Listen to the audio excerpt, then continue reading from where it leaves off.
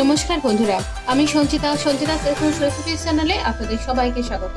দেখুন, আজকে একটা কৃষ্ণ জন্মতিথি উপলক্ষে, জন্মাষ্টমী উপলক্ষে একটা খুব সুন্দর রেসিপি নিয়ে এসেছি। এখানে আমি এক লিটার দুধে ছানা ফুল ক্রিম দুধের ছানা কাটিয়ে রেখেছি।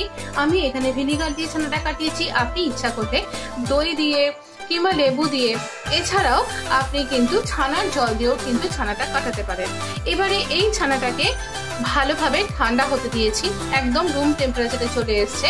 তারপরে আমি আবার ছেঁকে নিয়ে খাবার জল দিয়ে খুব ভালো করে ধুয়ে নিয়েছি, যাতে করে এই টক জাতীয় ব্যাপারটা মানে ভিনিগারের গন্ধ এবং টকটা চলে যায়। এবারে এই ছানাটাকে ভালোভাবে জলটা চিপে নিতে হবে। আর দেখুন, একটুখানি ময়েস্ট কিন্তু থাকবে। একদম ড্রাই কিন্তু হয়ে যাবে না। ড্রাই হয়ে গেলে আপনার মিষ্টিটা কিন্তু খুব স্পঞ্জ হবে না। রসগোল্লা, আমি বানাচ্ছি আপনাকে কেশর ভোগ রসগোল্লা। কেশর গোপালের খুব প্রিয় এবং কেশরী রঙও গোপালের খুব প্রিয়। এছাড়াও আমরা জানি রসগোল্লাও কিন্তু গোপালের খুব প্রিয়। তাই জন্য আমি এখানে এই কেশরভোগ রসগোল্লাতে আমি দিয়ে দিচ্ছি কিছু জাফরানের জাফরানের ফ্লেক্স এখানে আমি দিয়ে দিলাম। এটা আমি এখানে একসাথে ছানাটাকে মিশিয়ে ভালো করে মেখে নেব। ছানাটাকে মাখবার সময় আপনাকে আপনার হাতের এই তালুটা দিয়ে এইরকম ভাবে ঠেসে ঠেসে মাখতে হবে। ছানাটা আমরা মাখবো কিন্তু তার আগে একটু সাইডে দেখে নিই, এখানে আমাদের তৈরি করতে হবে রস। দেখুন, এইরকম বড় একটা পাত্র নেবেন মানে মুখটা যেন বড় হয়। তাহলে রসগোল্লাগুলো বড় হবার সুযোগ পাবে এবং অনেকখানি বড় হতে পারবে। আমি দিয়ে দিচ্ছি এইরকম এক কাপ চিনি। দেখুন, এইরকম দেড় কাপ চিনি আমি দিলাম। এবারে এই দেড় কাপ চিনিতে আমি দেব এইরকম এক কাপ জল, দু কাপ জল, তিন কাপ জল। মানে আপনি যা চিনি দিচ্ছেন তার ডাবল জল দেবেন। এইবারে যা চিনি তার ডবল জল দিতে হবে। আর এখানে আমরা এই রসটাকে তৈরি করবার জন্য গ্যাসটাকে অন করে দিলাম। দেখুন বন্ধুরা, এখানে আমি যেহেতু কেশর ভোগ রসগোল্লা তৈরি করব, তাই জন্য এইরকম ভাবে কিছুটা কেশর আমি এখানে দিয়ে দিলাম। এই রংটা হয়ে যাবে একদম কেশরিয়া রং, রসটার। দেখুন, রং ছাড়তে শুরু করে দিয়েছে। আমি কোনো ফুড কালার এখানে ইউজ করব না। আপনারই সামনে এখানে কিন্তু রংটা ধরতে শুরু করে দেবে।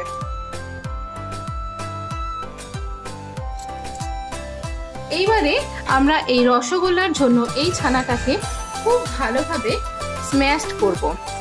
রসগোল্লা দেখছেন, এখানে রংটা কিন্তু ছাড়তে শুরু করে দিয়েছে। আর যেহেতু আমি এর মধ্যেও কেশর তো দিয়েইছি, দেখুন, এর মধ্যেও কিন্তু রং ছাড়ছে। আর আরেকটুখানি কেশর আমি এখানে যোগ করব। দেখুন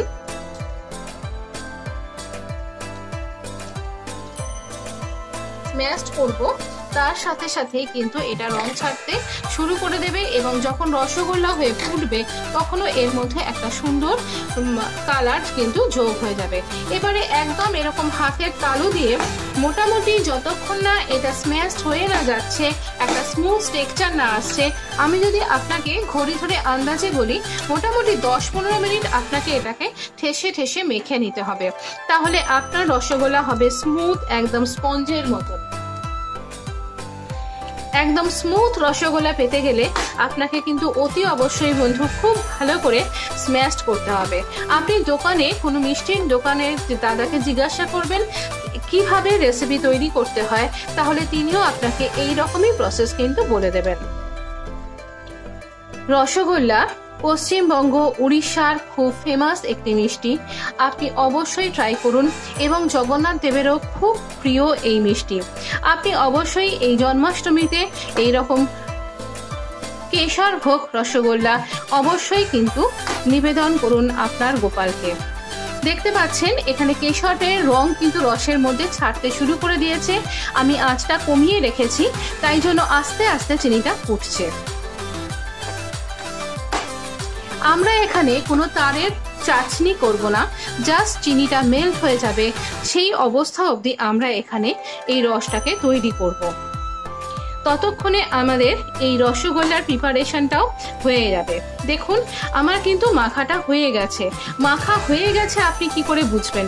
আপনার হাত হয়ে যাবে পরিষ্কার, আর যে পাত্রে আপনি মাখছেন সেটাও কিন্তু পরিষ্কার। প্লাস এখানে দেখুন একটা স্মুথ স্ট্রেকচার চলে আসবে। দেখুন। এই স্মুথ টেক্সচারটা কিন্তু খুব দরকার রসগোল্লা তৈরির ক্ষেত্রে। এইবারে আমি এখানে কিছুটা পোর্শনে ভাগ করে নেব আর তৈরি করব এই কেশর ভোগ রসগোল্লা।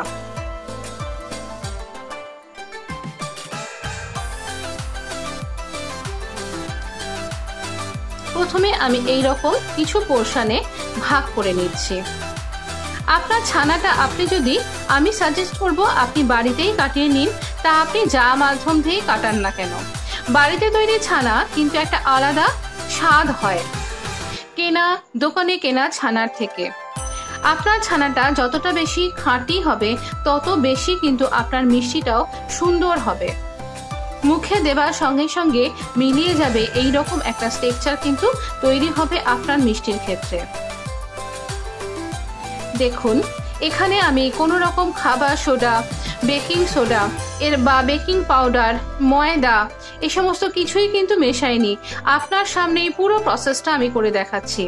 আমার সঞ্চিতাস এসেন্স চ্যানেলেও বেশ কিছু রসগোল্লার ভিডিও আছে ইতিমধ্যেই আপলোডেড আপনি যদি প্রয়োজন মনে করেন, একবার দেখে আসতে পারেন, হয়তো আপনার ভালো লাগতেও পারে। দেখুন এই রকম পোর্শনে সম পরিমাণ পোর্শনে আমি ভাগ করে নিয়েছি আর এইখানে হাতের তালু দিয়ে এইভাবে আমি এখানে একদম গোল্লা যেরকম করে তৈরি করে সেই রকম একটা করে বল তৈরি করছি। আর বলগুলোর গায়ে যেন কোনো ক্র্যাক না থাকে, সেটাও কিন্তু খেয়াল করে আপনাকে দেখতে হবে।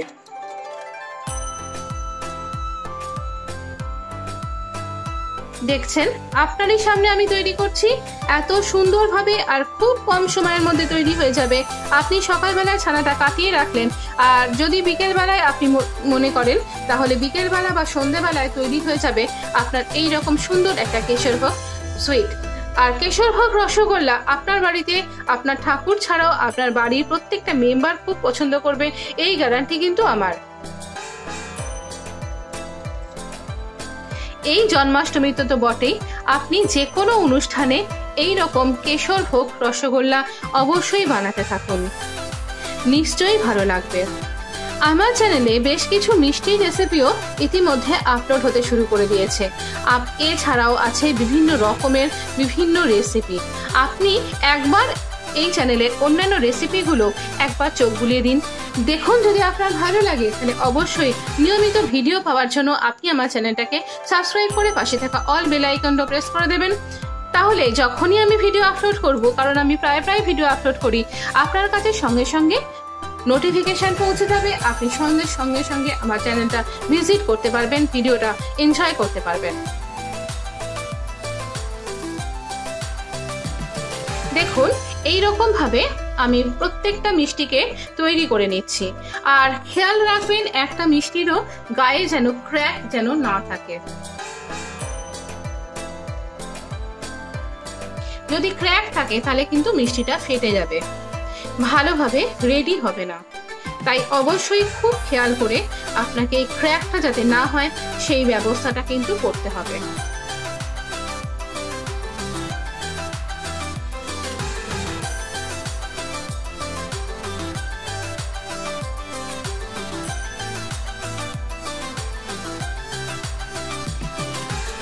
এইবারে আমি পাশেই গ্যাসে চিনির শিরাটাকে একটুখানি জোর করে দিলাম, যাতে ওটা খুব তাড়াতাড়ি করে ফুটতে শুরু করে দেয়।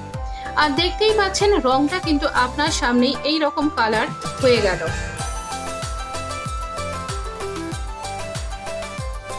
চিনিটা এখনও পর্যন্ত পুরোটা গলে যায়নি। পুরোটা গলে যাক, তারপরে আমি এগুলো এখানে ট্রান্সফার করব। কীভাবে ট্রান্সফার করব? আপনার সামনেই করব, আপনি তো দেখতেই পাবেন।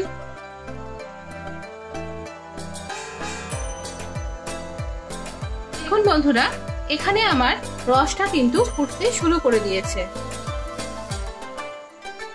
এইবার এই রসের মধ্যে একটা ভালো ফ্লেভার অ্যাড করবার জন্য আমি এখানে দিয়ে দিচ্ছি এই রকম পরিমাণ এটা এলাচের গুঁড়ো।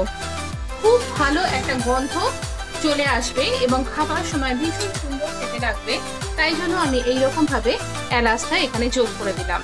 আঁচটা আমার ফুল করা আছে। এইবারে আমি এখানে দিয়ে দেব এই রসগোল্লাগুলো। এই রসগোল্লাগুলো সব কটাকে একবারে দিলে হবে না। দেখুন, আমরা ওয়ান বাই ওয়ান এখানে ড্রপ করব। কিছুক্ষণ সেকেন্ড অন্তর অন্তর আমরা এখানে এই রসগোল্লাগুলোকে দেব।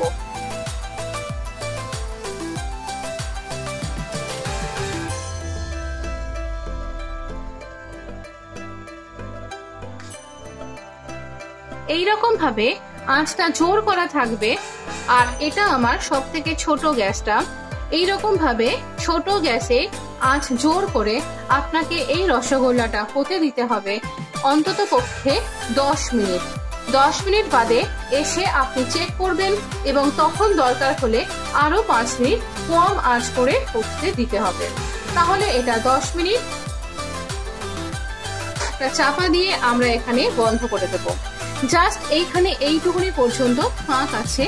দেখুন এই রকম পর্যন্ত ফাঁক আছে। এই ফাঁকটা আমরা রাখব, কারণ তাহলে এটা ভালোভাবে ফুটবে। পুরো রসগোল্লাটার মধ্যে এইখানে যে দেখুন, এই ফুটে ওঠা ব্যাপারটা কিন্তু হতে থাকবে। তাই জন্য এই ফাঁকটা আমাদের দরকার। তাহলে এটা ফুটুক, দশ মিনিট বাদে আপনার সাথে দেখা হচ্ছে। বন্ধুরা, দশ মিনিট বাদে আমি ফিরে এসেছি আর দেখুন, রসগোল্লার অবস্থা এইরকম। খুব সুন্দর একটা কালার চলে এসছে এত গরমের মধ্যে, আপনাকে আমি ঠিক বোঝাতে পারছি না। ভীষণ সুন্দর একটা কালার চলে এসছে। আর কতটা বড় হয়ে গেছে আর কতটা সফট দেখতেই লাগছে, আপনি তো বুঝতেই পারছেন। এবারে আমরা আঁচটাকে কমিয়ে দেবো এবং এইভাবে কম আছে আরও পাঁচ মিনিট এইরকম ভাবেই ফুটতে থাকবে। তাহলে আমরা এরপরে আবার দেখাচ্ছি ফাইনাল লুকটা কীরকম দেখতে লাগছে।